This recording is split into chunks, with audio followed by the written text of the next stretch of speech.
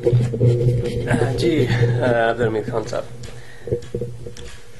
जनाब, तलत साहब, बहुत बहुत शुक्रिया। आज आपने मौका दिया गिलगित बल्तिस्तान के बारे में गुजारिश करने का। अपने आवाम और कश्मीर के लोग और बैन अवी बरदरी से मुखातिब होने का। और जहाँ तक पाकिस्तानी पैकेज का ताल्लुक है या इलेक्शन का ताल्लुक है, आपने जो सवाल किया है, इसकी पस मंज़र में हमें जाना पड़ेगा कि आया ये इलेक्शन है, या ये पैकेज है, इनकी कोई कानूनी या बैन अवी कोई हैसियत है भी कि नहीं, ये इलेक्शंस होने चाहिए या नहीं होने चाहिए? इस सिलसिले में मैं आपको सबसे पहले इस इलाके की कानूनी हैसियत के बारे में बात करूँगा। और कानूनी हैसियत इस इलाके के बारे में, इस इलाके की कोई अपनी कोई कानूनी किताब नहीं है अभी। कोई आइन नहीं है। कोई रूल रेगुलेशन नहीं है। अलबत् अकवा की वो करारदाद जो तेरह अगस्त उन्नीस में, उन्नीस सौ अड़तालीस में पास हुई है। United Nation Commission for India and Pakistan जिसको कहा जाता है। और तेरह अगस्त उन्नीस सौ सैंतालीस के बाद फिर पाँच जनवरी उन्नीस सौ उनचास को भी करारदाद पास हुई है। और फिर 28 अप्रैल उन्नीस सौ उनचास को एक ट्रूस टर्म्स के नाम से जो सीज फायर जो हुआ है, जो अमन जो हुआ है, वो भी यूएन रेजोल्यूशन का बहुत ही अहम हिस्सा है। तो अकवाम के करारदादों के मुताबिक इस इलाके में यानी पाकिस्तान की मौजूदगी का कोई जवाब नहीं बनता है। पाकिस्तान ने न इसमें मौजूद होना है, न हुकूमत करनी है इन लोगों पे और न इलेक्शन कराना है। अकवा मुतहदा की करारदाद में साफ़ साफ़ लिखा हुआ है, जिसकी असल किताब कापी मेरे पास मौजूद है। इंग्लिश में भी है और फ्रेंच में भी है। अकवा मुतहदा ने खुद उसको प्रिंट किया हुआ है, उन्नीस सौ पचास में।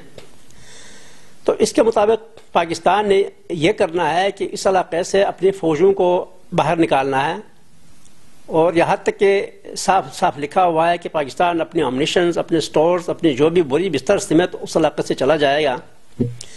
और फिर पाकिस्तानी जो शहरी है, जिनको आज आप तालिबान कहे, या मुजाहिदीन के कहे, या लश्करी के कहे, जो भी नाम दे दे, जिस ज़माने में अलग अलग नाम देते रहे, या कोई भी, जो भी पाकिस्तानी शहरी है, चाहे वो मानसरे से आए हैं, हज़ारे से आए हैं, चाहे वो पंजाब से आए हैं, या एन डब्ल्यू पी से आए हैं, या भी नया नाम जो दिया गया है, पख्तनख्वा वहाँ से आए हैं।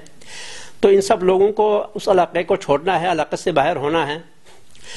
और उसके बाद जो अकवा मुतहदा को इन्होंने इतला देना है कि हम यहाँ से चले गए हैं तो अकवा मुतहदा ने हिंदुस्तान को बताना है कि वह आप अपनी फौजें यहाँ से निकाल लें।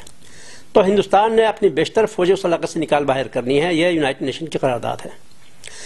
और फिर यहाँ जो लोकल एक अथॉरिटी होगी, यहाँ गवर्नमेंट भी नहीं लिखा हुआ कोई सॉरन गवर्नमेंट का ज़िक्र नहीं है इसमें क्योंकि ये एक उबूरी दौर है।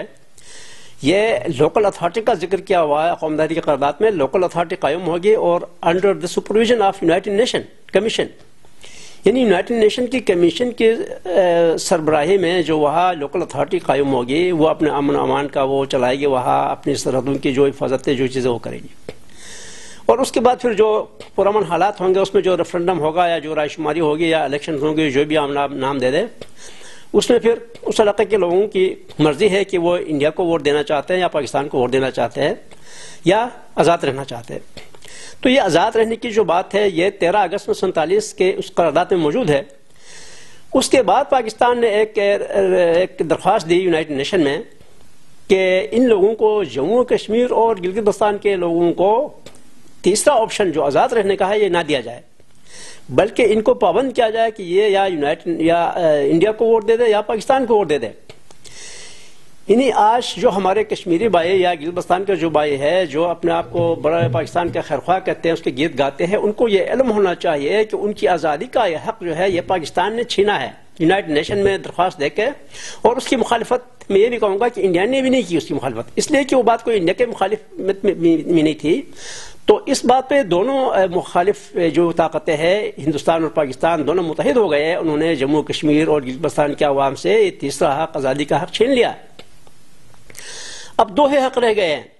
यानी पाकिस्तान अब ये दुनिया भर में ये रटे लगा रहा है डीमिलिटराइजेशन कह रहा है मुशरफ के दौर में, या सेल्फ रूल सेल्फ डिटर्मिनेशन की जो बात कर रहे हैं तो सेल्फ डिटर्मिनेशन अकवा मतदा की करारदाद के मुताबिक या अकवा मतदा के चार्टर के मुताबिक जो गुलाम जो लोग थे जिनको जिनको कॉलोनी कहा जाता है उनको आज़ादी देने का हक दिया गया था सेल्फ डिटर्मिनेशन में।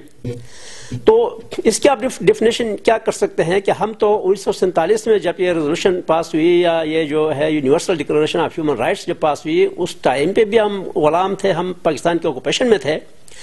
इसलिए कि पाकिस्तान ने कोई फौजी कशी करके हमारे इलाके पर कब्जा नहीं किया था, बल्कि बल्कि हमारे जो कुछ नाकबत अंदेश लोगों ने जो जो जिनका ताल्लुक सियासी किसी, उससे नहीं था, सियासी तौर पर नाबालग थे। और वो फौजी थे और फौजियों ने हिमाकत करके पाकिस्तान से एक मदद मांगी आर्जी तौर पे इंतजामिया चलाने के लिए। तो वहाँ से जिस आदमी को भेजा सरदार आलम नामी, उसने शुरू से ही, उसी दिन ही, पहले दिन ही 16 नवंबर उन्नीस को पहुँच के ही उसने उस इलाके को फिर तौर पर